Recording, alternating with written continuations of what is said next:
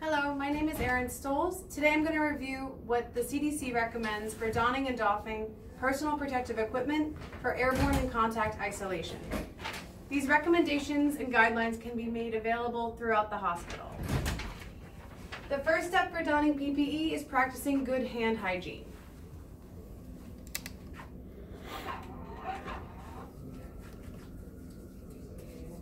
Once this is complete, you're ready to get started. The first thing you're gonna put on is your gown. These PPE carts will be made available outside of isolation rooms throughout the hospital.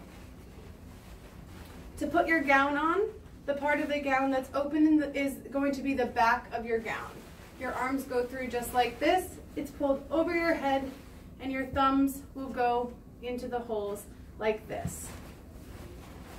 The back of your gown should be tied, but not so tight that you won't be able to remove the tie once you have to take your gown off. Okay. The next thing you're gonna put on is your respirator. We have two different types of respirator at the hospital. The Tecnol, otherwise known as the Duckbill N95, and the 3M brand or the Teal, also an N95. You might see either of these. It's very important that you are um, fit tested uh, at least annually. The first I'll demonstrate is the Tecnol. There are two strings just like this. You're going to affix your chin to the bottom of the respirator and the strings are, one of the strings is pulled to the roof of your head while the other goes to the back of your neck like this. The metal piece is going to be pressed down with your fingers like this. Every single time you put on a respirator, it's very important that you do a fit check. With the Tecnol to do the fit check, all you're going to do is sharply inhale. If you can feel the respirator collapse across your face, you know that you have a good fit. So that's the entire process. For the purpose of this demonstration, I'm going to show how to take off the Tecnol at this time. To remove the Tecnol respirator, you're going to, with two hands, pull the back string up and over your head. Then with two hands, you're going to take the top string and pull this off. This will be disposed of in the biohazardous waste container. To put the 3M respirator on, what you're going to do is you're going to cup it like this, put your nose to where the top of the respirator is, and pull the top string to the crown of your head. The bottom string pulls over and goes to the back of your neck like this. Using your hands, you're going to gently press down like this to form a nice seal. You do not want to pinch the respirator, however, because that could lead to air escaping on the top here and uh, disrupting your seal. Same as before, you want to do a fit check. With the 3M respirator to do the fit check, you're going to cover the entire respirator with your hands and sharply inhale. If you can feel the respirator collapse across your face, you have a good fit. So that's good. The next step that I'm gonna do is the face shield. We have two different types of face shields available.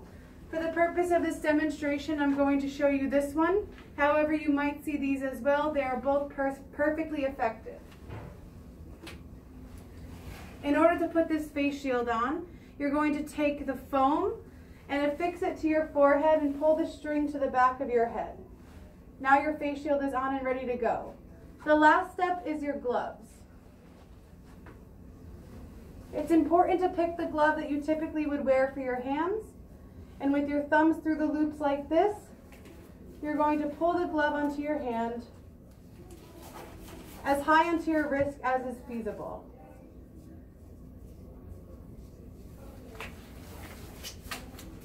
You're now ready to go into the patient room.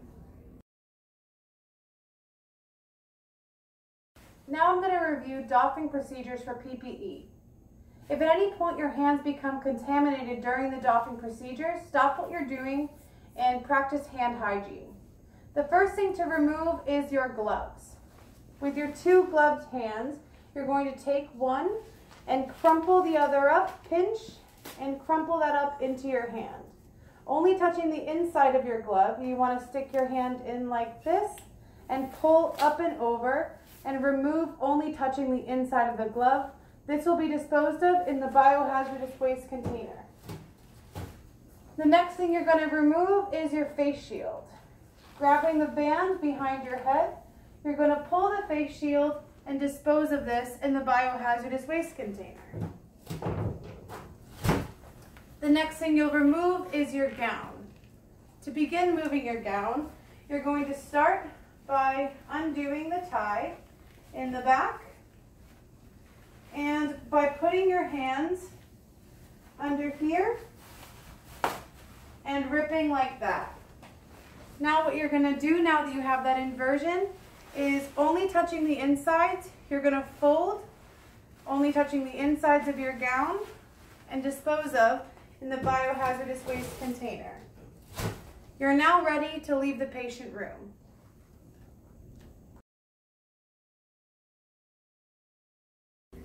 The last step of doffing your PPE is taking off your respirator. In order to remove your respirator, you'll take two hands and with the strap that's affixed to your neck, you'll pull up and over. Now, with two hands for the strap that's affixed to the crown of your head, you'll remove just like this, and this is disposed of in the biohazardous waste container. The last step of the process is practicing hand hygiene. You can do this either by washing your hands for 20 seconds or utilizing a hand sanitizer. If you have any questions about this process, reach out to your hospital's infection prevention or safety department. Thank you.